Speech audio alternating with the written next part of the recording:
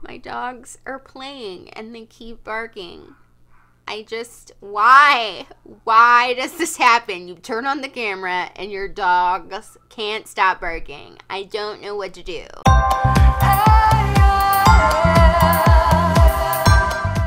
Hello everyone, it is Jazz here. Today I'm doing the 2019 edition of the year-end book superlative tag. This is a tag created by abookolive. I will link you to her couple of videos of this tag in the description if you want to check it out. But I just think this is a really great tag that I like to end the year on, even though I accidentally skipped last year. Sorry, 2018. I choose to do this tag solely because I'm not the kind of person that's great at making decisions and I tend to rate books highly, so I can't really do a favorite books of the year video comfortably. And I also don't like doing a least favorite books of the year thing. But I think this tag is a great way to show a general scope of the types of books that I read over the year. So we're to jump into the superlative type questions and let's go for it. Number one, most likely to be in the movies, the book that would make the best movie. So I have a couple of choices, and a lot of these, I'm sorry, do have more than one choice for the answer. I apologize for that ahead of time. But the first choice that I have, I don't know that anyone would actually make a movie of this, but I think it would be cool, you know? And it's Toil and Trouble. This is a retelling of Macbeth in graphic novel form, but it's from the perspective of the three witches in Macbeth. I also read Macbeth this year, but I you know, read it after I reread this one. I just want to see like the special effects. I want to see this perspective. Like it would just be one that would be cool. But my second choice is also something that I think could actually be made into a movie quite easily and I would equally enjoy seeing, and that would be Sadie by Courtney Summers. It's more of a revenge sort of thriller type type of book. And i love a revenge thriller with all my heart and i think it would be very inexpensive to make this into a movie and it's also a very popular book so it seems likely that somebody could be inspired to make it into a film. I don't know if that will ever happen but i think it would be cool. Number two biggest drama queen slash king the most over dramatic book. I decided overall to give this one to Hot Gimmick, which is a manga series. I believe I read the omnibus volumes of volumes two through four during the year of 2019. I think the first one I read in 2018. The reason why I have to say this is the most melodramatic of all the books that I've read is because it is the stuff of soap operas. I was trash for the first two volumes. For some reason, I liked them, even though I felt definitely guilty pleasure conflicted about them. Volumes three and four straight up like wanted to kind of throw them in the garbage just because they romanticized a really abusive relationship and I just I couldn't with it after the fourth volume where it ended and just how the whole series ends and volume 4 um so also I would say that the over dramaticness stemmed from my over dramatic reaction. I don't remember if I threw the fourth volume across the room for like real but I wanted to. I probably didn't because it was a library book, but I, I desperately wanted to, y'all. So my reaction to it was over dramatic. Number three, Best Dress, the book with the best cover. So I decided to go with the cover of Five Feet Apart by Rachael Lippincott, which is obviously sort of a tie in with the film Five Feet Apart, which I still haven't watched. I've only read the book. But this not only has a extremely beautiful cover, but also this cover holds a special place in my heart because I did a challenge video where I recreated the elements of this book cover on my face for the final biannual bibliothon and I ended up winning the makeup challenge for that day. So I enjoyed this book. I love the book cover and I also love that like it really is associated with like a good experience even though this book made me cry like a freaking baby. Number 4, most creative, the book with the most unique plot, characters, or structure. So I have a couple for this one. First off, Kings and Queens of Roam by Daniel Wallace. This is a magical realism book. It is super weird, but in like the best way. It's about two sisters. One sister is blind and the other sister is not very good looking in appearance and basically it's about their relationship and how those two things affect their sisterhood and it goes to some crazy places. It's also kind of about a town and how the town they live in was sort of like created and how that kind of filters into the relationships of the characters as well.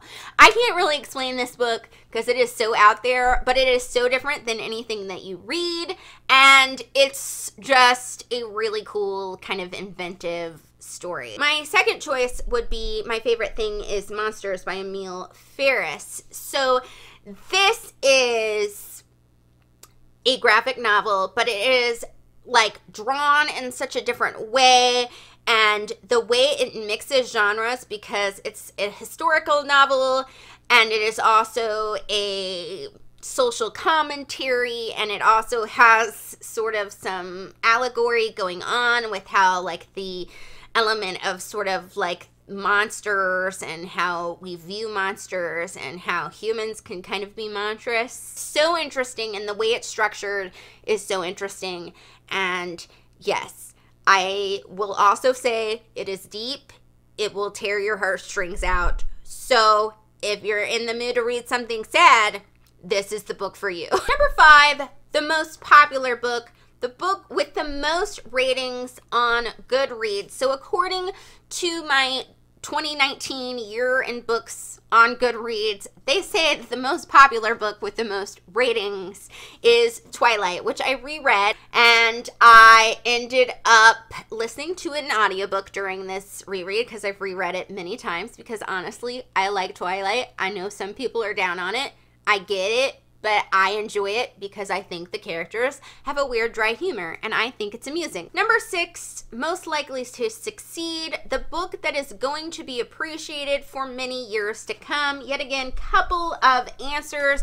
While I didn't start the manga series Fruits Basket in 2019. I started it in the year before. I ended up completing it in its entirety in the year of 2019 and I adore it with all my heart and it's just one of my favorite mangas that I've finished or manga series that I finished so far and I just it's too good for this world. I completed Wonder and it's the most endearing, sincere sort of book in the world and any age can enjoy it. So I will definitely probably be rereading Wonder in the future because I love it. I'm holding up the dust jacket right now because my mom is reading it and I hope that she likes it as much as I do. Number seven, Class Clown.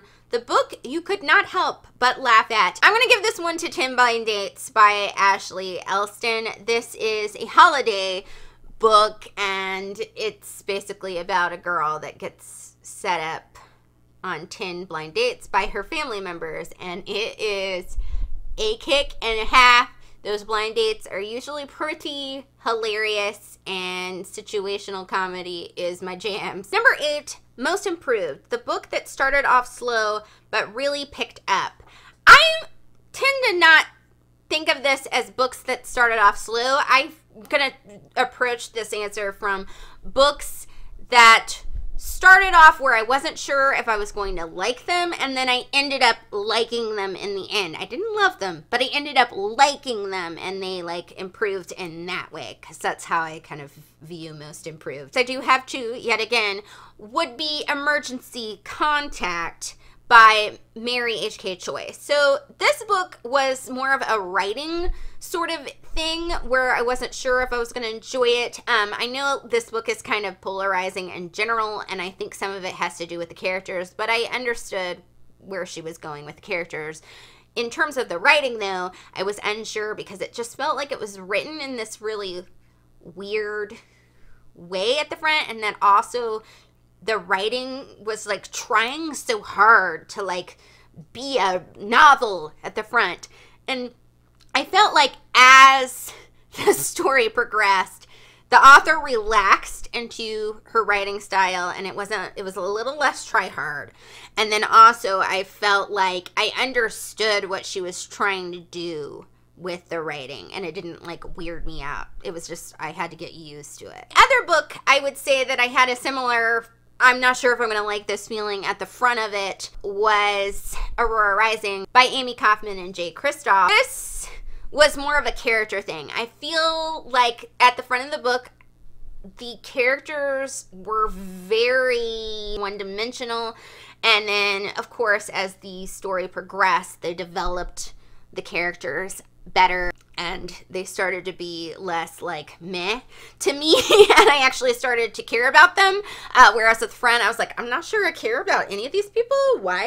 And i actually ended up enjoying Aurora Rising more than I enjoyed Illuminae, which I also read in 2019, uh, mostly because of the structure and like things like that. I still have problems with both of those books, uh, even though I did give Aurora Rising four stars because for some reason, with Amie Kaufman, Jay Kristoff books, or the two that I've read, I just feel like I'm reading Firefly for teenagers. Like they've just restructured an episode of Firefly for teenagers, um, and also maybe thrown in a little Star Trek and things in there. I just can't unsee the influences. I think if I could, I would enjoy them even more, but I just, I can't. I can't not see them. But I still ended up enjoying Aurora Rising and would read the next book in the series, which comes out in 2020. Number nine, cutest couple. The two main characters, Sawako and I think it's Shoto from the manga Kimi ni Todoke.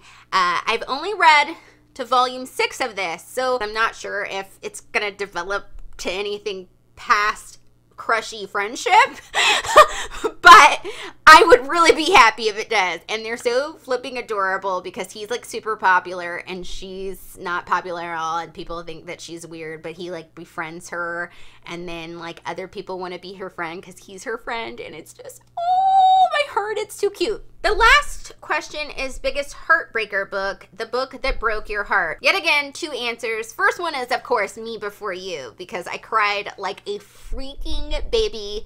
um, and I was like, nobody look at me, like, nobody enter this room, because I'm having a moment here. And yeah, that happened. I also will say that Needful Things by Stephen King, like, broke me in like a weird, weird way. It made me just feel sadness and hopelessness, and it was very hard for me to read. It's not a bad book by any means, but just the general overall tone. And I, I guess that should be expected with a Stephen King book, but I still feel like a lot of the Stephen King books that I've read have not made me feel such a sense of hopelessness. Gosh, Needful Things, I'm only reading you once, but I'm glad that I read you. So that was the 2019 edition of the Year End Book Superlative Tag. I think the general theme of 2019 after doing this tag is that I read a lot of manga and I also read a lot more popular books that are like popular books on booktube than i normally do because i utilized the library